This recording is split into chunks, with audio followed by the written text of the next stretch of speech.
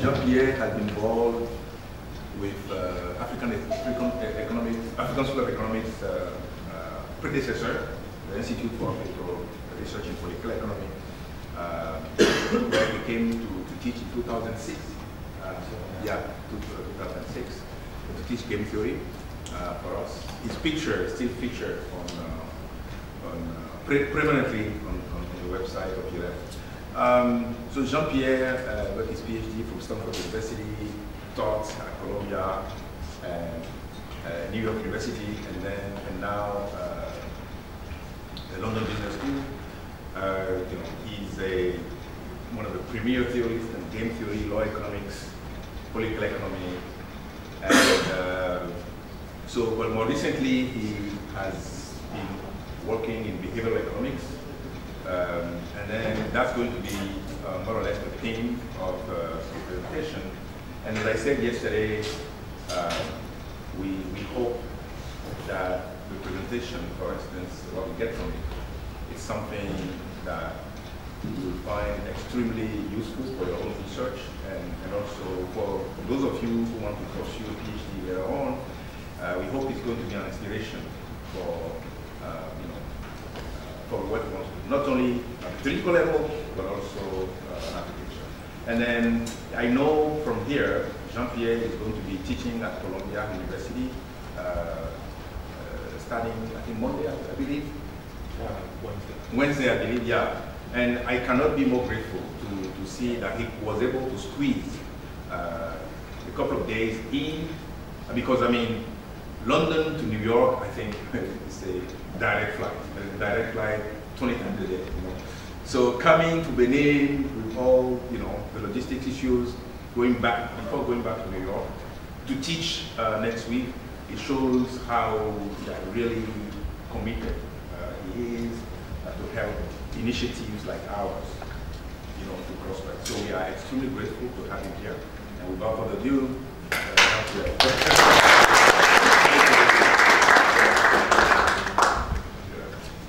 About 12 years ago. So I'm glad to see the, the progress you made with the university. And already then it was very exciting. Yeah. And there were some very good students. And I'm sure there's some very good students here too. Today's top uh, lecture topic is topics in theory, and I heard people mention, I see there's some hardcore theorists here. But nonetheless, I want to ask a general question is, do we really need theory at all? Of course, since I do theory, the answer will be yes. But still, let's step back and ask, why do we need theory? Now, we're in a big data kind of uh, era now. Can we just look at the data? Can we just look at experiments? Do I have to bother with this formal theorizing at all? And I'm going to ask that broad question, but I'll answer it by looking at some specific examples, depending how much time we get. Question here will be, what is the role of theory in explaining experiments? Okay, look at behavioral experiments. So I'm just going to start with an experiment, which is very, very well known experiment by Svenson. And what Svenson was interested in, the question is, do people understand themselves? Do you have a good conception of yourself? How skillful you are? What implications will that have for your risk-taking behavior, but your behavior in general? And as you know, uh, you studied economics 30 years ago, you would have a very uh, narrow conception of a person as being very rational, doing a lot of calculations in a very logical way, not emotional, not being thrown off, not making simple errors. And now we're maybe in an opposite kind of era, where behavioral, so-called behavioral critique has come to, uh, to the fore say, well, let's look a little bit more carefully at how people behave. And let's look at what psychologists have to say, or at least at what economists think psychologists have to say, uh, and maybe do our own experiments. So Svenson was interested in this question, and he answered it in particular by saying, well, let me look at driving. Not that I'm you know, necessarily interested in driving, but people drive a lot. They have a lot of experience uh, in their driving, and let's see if they understand how well they drive. Are they skillful drivers? Are they safe drivers? So he gathered people in a room, just like we do today, and then he asked them, oh, look around and tell me, compared to everyone else in this room, how skillful a driver are you? Then he asked them to rank themselves. Compared to other people, are you more skilled, less skilled, top 20%, top 30%, bottom 10%. And what did he find? That a majority of the people said they were more skilled than the average driver in each group. So we went there, and he actually did it in Sweden and the United States, and something like 77% of Swedes said they were more skillful than the average driver. And 85% of Americans, we'll see the exact data, I don't remember exact data. That's what we found. And again, the question will be, okay, that's good. Do I need any theory to go with that? Does it just speak for itself? This finding is usually summarized by saying people are overconfident. And here we have three quotes, tendency to evaluate self- oneself more favorably than others is a staple finding in social psychology.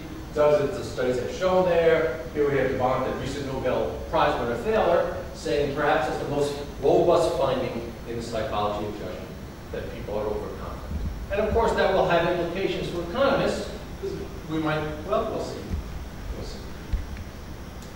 First thing I want to say, even though this is not necessarily uh, my topic for today, but let's just be careful. For some reason, this is the way economists always summarize uh, the evidence by saying there's overwhelming evidence that people are overconfident. Actually, the evidence is not quite that. It- It's more mixed. And if you ask psychologists, that's not what they would say. That, they would say that's kind of out-of-date summary. They would say that people tend to be overconfident in an easy domain, such as driving. If I ask people how well you drive, most people will say better than average. But then if I ask people how well are you, do you, are you on a unicycle? Or how well do you jump? Things which seem difficult, most people will say they're worse than average. There seems to be overcom, underconfidence in that domain. Just for your information, I'll tell you that. And I'll also point out that this tends to happen mostly in domains where you don't have an objective measure. So if I ask, how fast do you run? It was very objective how fast you run. You'll tend to find people have a pretty good estimate of how fast they run. If you take a rule when you say how fast are you faster than the average person or not, you'll have about 50% of the people saying they're fast. There's overconfidence, underconfidence, sometimes neither, at least apparently, from what the data is telling us. Economists tend to summarize the overconfidence, and that's most of the literature has written in that direction, so we'll kind of emphasize that one as well. Let me also, just in the interest of having you just know the literature a little bit better, say, although often it's said people are overconfident, if you look more closely, there are three types of experiments around overconfidence. One finds overestimation. Overestimation is I ask, how good are you in an absolute sense? And then you say you're better than you are.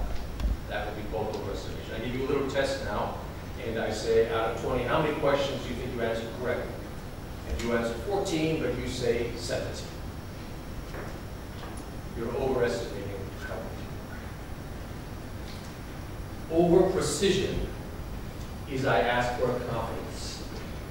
I ask you, how many people in Benin do you think have a mobile telephone? And then I say, give me 90% confidence. And I ask a bunch of questions like that. How about in London? How about in, when I ask for a 90% confidence interval, and people tend to make those intervals too narrow. They're, they think they're more precise than. And the final kind, which is what we'll talk about today, and which Svenson talked about, is over placement. That's where I ask you to place yourself relative to others. And then we see, for instance, too many people saying they're above average. Well, what is too many? More than 50%. If you have any questions, feel free to stop me at any moment. So why do we care? So what difference does it make to people? Lots of reasons. So Economists care because maybe too many people might open a restaurant or go into business. Or if I give a farmer advice on doing something, the farmer says, ah, that's all right, I know, I know. I don't really need to listen to you. So you're not as good as you think you are, it's going to throw us off. Maybe you're looking for a job, and you keep turning down offers because you say, well, I'm better than that, I'll get a better job offer. And then we have unemployment as a result. That would be an explanation. You might ask, oh, why are so many people unemployed? Oh, they're overtime. Maybe. The indirect reason is this behavioral critique I mentioned, which is I go back years and economists just said, oh, people are perfectly rational, they're narrowly self-interested. You know, that's actually not quite true. But as a working assumption, let's say they said that. And we just go with that. We're very happy to say that. And say, you know what, if you say that they're not rational, it's going to be too difficult, I don't know what to do. That's the way I want to model people, it's very useful. And then behavioral critique says, oh, no, actually, you should take very seriously that they're bounded rational and they feel anxious and then they get mad and they calculations and they make this mistake, that mistake, that mistake. And here's another mistake that they make. That they're misconfident, me see. Either overconfident or underconfident, but in any case, it's not the right level of confidence. What I'm going to talk about first is based on a paper I wrote called Apparent Overconfidence with my co-author Juan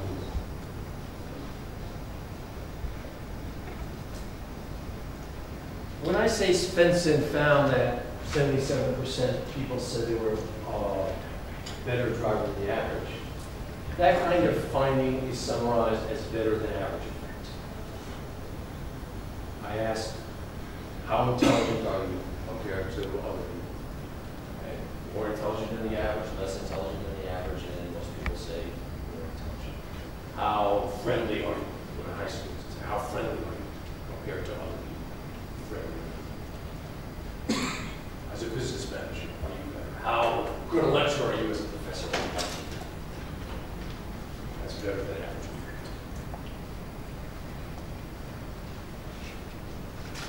You have to be careful about that.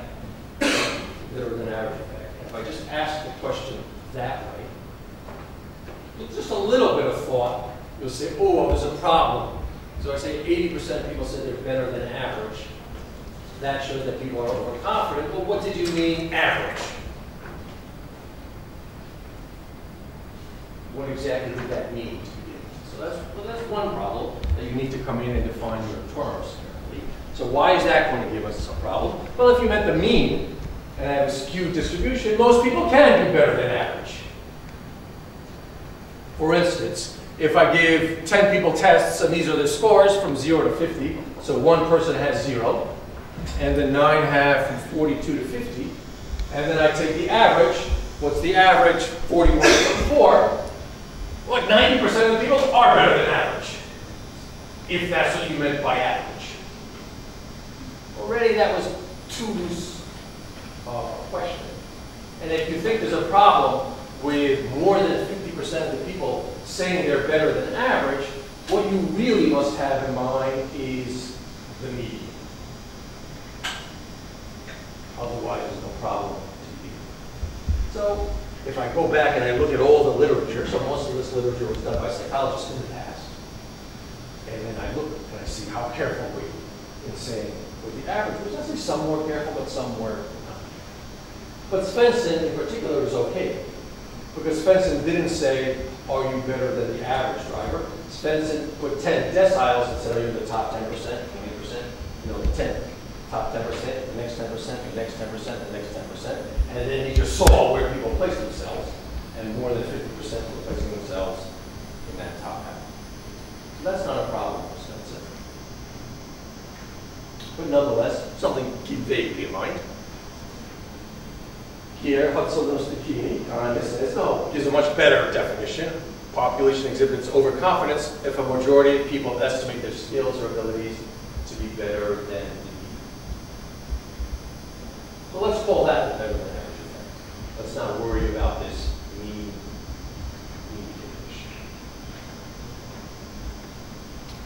I mean, I was going to say it's a bit of a red herring. It's a bit of a red herring if you do your experiment correctly. So it's something that you need to take care of. But people have taken care of. And there are two kinds of experiments in this domain. The ranking experiment, which is what I'm talking about here, rank yourself and another scale experiment, which is, says put yourself exactly somewhere.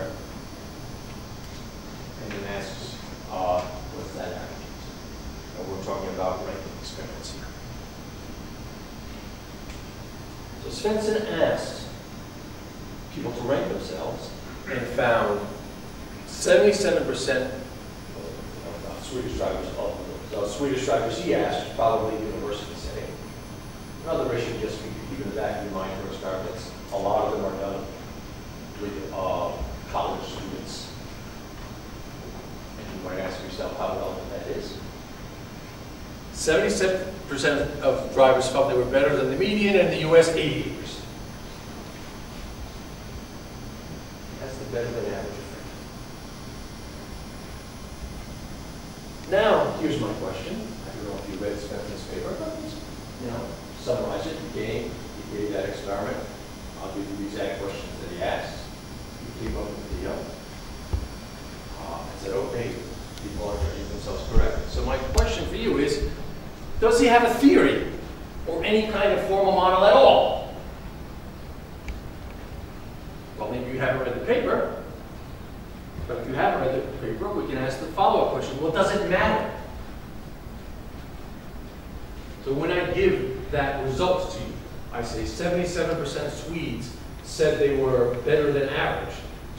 Oh my gosh, where's the theory? What's the model? Start to write down something carefully, or you just go, wow, that's really interesting. People are overconfident. Does it need a theory? Do we really need theory at all? Does, it, does that just speak for itself? Seventy-seven percent said they're better than average. People are overconfident. Oh, the only question that might come to mind is, did you find average properly? Did you do a statistical test properly? You know, did you incentivize them properly? Like experimentalists type questions. But do you really need to go to the theorists and say, well, wait a second, where's the model? Well, if you're studying uh, economics, well, it depends on the kind. Largely, even what an economist might not call very theoretical, someone else might call still pretty model-driven. Doesn't matter, doesn't need a theory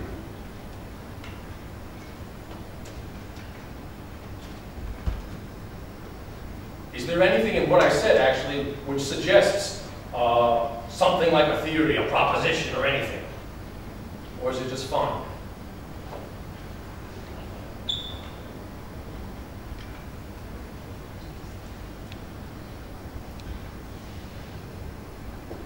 Well, let me go on. We'll be a little bit more specific. Well, here's a proposition in there. Uh, which says, okay, you found the better than average effect. I guess you're telling me the better than average effect implies people don't have correct beliefs. Or you're just telling me the better than average effect implies people are overconfident. I just wanted to be a little bit nerdy about it and precise and say, oh, well, let me at least write it the way an economist might write it, as opposed to a psychologist. Let me start by saying, proposition, better than average effect implies this, or this, some variation on that. And done. So let me write that, and if I'm going to write that, then I have to ask myself, well, why? So we're going to write the proposition. I have to be able to then prove the proposition. Or at least argue. So if you read papers on the better than average effect, if you go back 10 years, let's say, or 20 years, uh, most of them will just say better than average effect, therefore people are overconfident. They won't tell you why. Why does the better than average effect imply people are overconfident? So why does it? If I just told, if I said to you, oh yeah, that's very amusing, but now I just want you to write down, exactly, write down that proof. So there's your proposition, now write down a proof. Better than average effect implies people are overconfident, proof.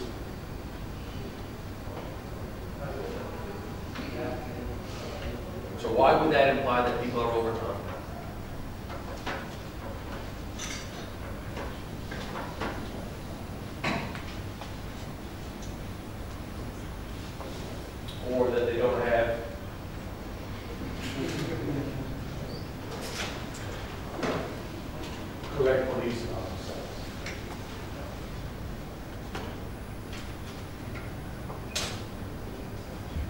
Thank you.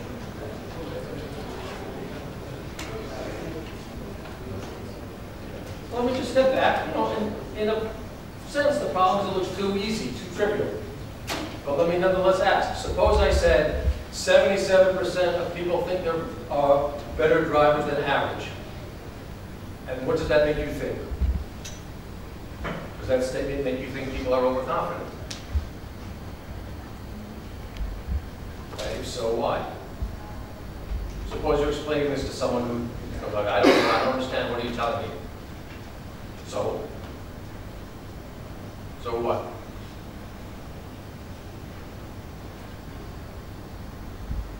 Yes? Me, I'm not sure whether it's people themselves or incorrectly about others. Okay, so first of all, I might ask myself, is this a belief about myself or a belief about other people? And if I'm asking myself that question, uh, part of that question comes into, are you talking about overestimation or overplacement? For instance, I might have an exact correct belief about myself, but I think everyone else is worse than they are. So I'm estimating correctly, um, but I'm overplaced because they're not as bad as they think they are. So if I look over there, you might say exactly what type of overconfidence. So let me say overplacement. Let me try to avoid your question by saying overplacement. So whether the problem is that I'm better than I think I am or you're worse than you think you are, still there's some overplacement going on. But let me observe that in your answer you said, I don't know the problem is that they have an incorrect belief about this or incorrect belief about that. Therefore, there was a presumption that this shows me that there's an incorrect belief. So why does it show me that there's an incorrect belief? I know the question I'm asking is somehow too obvious for you, so you can't even think of how to answer it almost. So why would this show me there's an incorrect belief? Suppose I just look at there and go, so what's the problem? 80% think they're better than average, so what's the problem? Why do you think there's a problem? They got the wrong answer. Hmm? They got the wrong answer. But why do you think they got a wrong answer? What makes you think there's a wrong answer? It can't be true that one and a half is better than the average, Because it can't be true that more than half are better than the average, or the median are better than the median. So I know you're sitting there saying, well, what's the trick here? This is kind of too trivial. But actually, I was going to say there isn't a trick, there is a trick.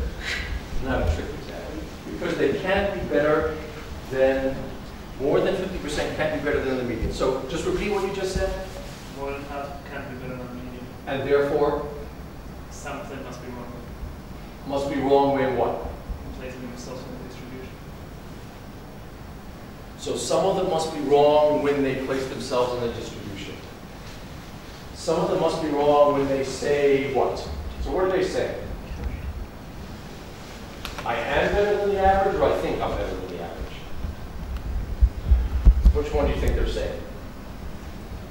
I think. I think I'm better than the average. I think I'm better than the average. So now we have to step back a little bit.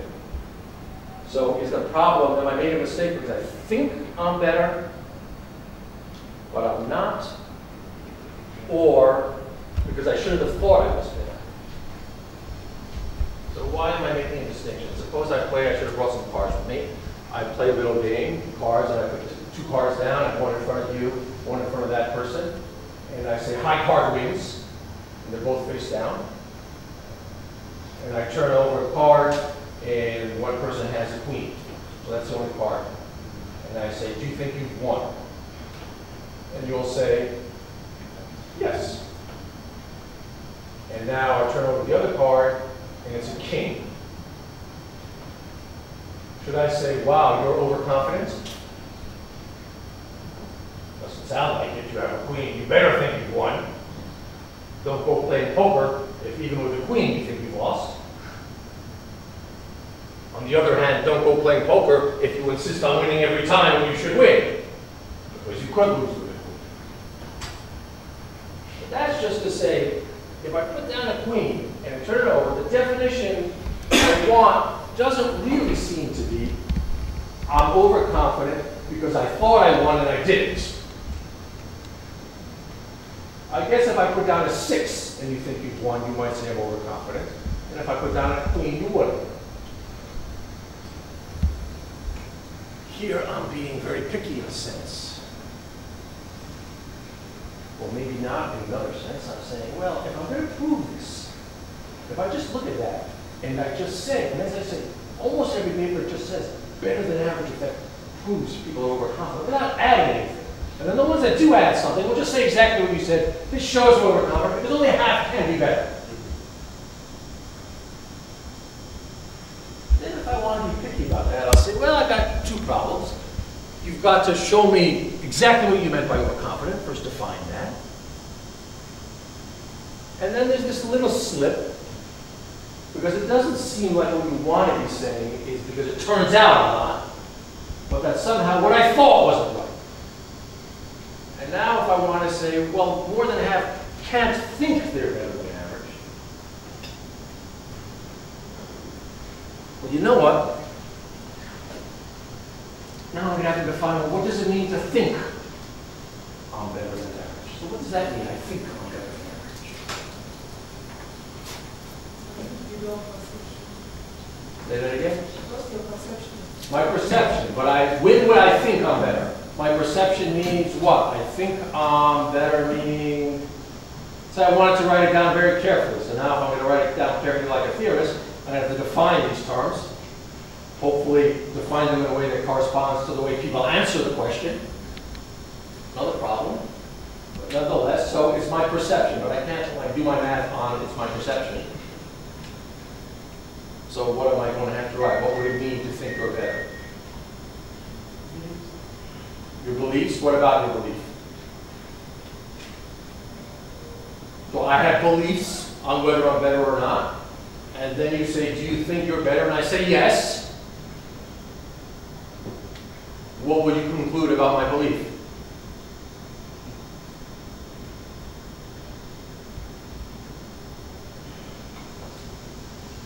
So look, at this point, either you're saying, well, that's kind of interesting, or wow, that's really annoying. If you're saying, wow, that's really annoying, you know, it's just like picking, picking, picking to try to get to something very precisely, your initial inclination is not to be a theorist. If you're going, well, that's kind of interesting, yeah, that those terms, something like that. Maybe you're more inclined to be a theorist. Maybe you'll say, yeah, but it's kind of in a really boring theorist kind of way. Maybe not. But nonetheless, ho- hopefully by the end we'll all say, oh yeah, it is important to be a theorist. So let me just try to be more precise. I said, it's my perception. I think I'm better, and I'm going to write down a proof. Most can't think they're better because only 50% are better. But I can't say, oh, I think they're better. They have a perception that they're better. That's not going to do the trick for me. So if I think better means something about their beliefs, what does it mean about their beliefs? Depends on culture. Depends on culture. So it could mean a lot of things. It Could mean a lot of things about my beliefs. Well, let's go on. Let's go on. Let's just keep that somewhere in the back of our minds. But again, at this point, what I'm suggesting is, listen, the reason I picked this, other than the fact that I wrote a paper on it, is I've given you about the most straightforward, obvious experiment I can think of. If I just give you this result, if I say 80% of people think they're better than safer drivers, you can go say that to anybody who doesn't know anything about economics, who has no training in anything at all, and they'll just say, wow, people are overconfident. They're not going to stop and say, well, what does that mean exactly? Can you explain it? As there might be some complicated stuff uh, in economics. It just seems very, very obvious and straightforward. It seems like there's really nothing to say about it at all. Even if I say, why does it imply that people are overconfident? It sounds like that's just a stupid question I'm asking. Because only 50%, it's this median mean thing, but we've taken care of that. So again, I want to argue, yeah, but you know what? If I'm just thinking ahead to your future work, whatever you write, like the most obvious, simple thing, doesn't hurt to pause and step back and say, okay, well, what exactly does that mean? Now, if I come here at this point and I say, okay, it's their perception, it's their beliefs, what exactly does that mean? And if you're having trouble telling me exactly what that means, then that should also cause you pause and say, well, maybe there's something wrong. Not wrong, but maybe there's something I don't completely understand about the problem here. Because I should be able to give a more definite answer. I should be able to. So at this point, if you're Svenson, and I just come and I start to hammer at you, and say, well, what does that mean? What does that mean? Exactly what's going on? Just define, proceed. Just define that, define that, define that. You're not going to just go running out of the room screaming, oh my gosh, my whole paper's falling apart. But nonetheless, you should pause and say, maybe I should just think a little bit more deeply because I'm having trouble answering the most basic question about this result. Let's, now, let's go ahead a little more closely. So this is an actual question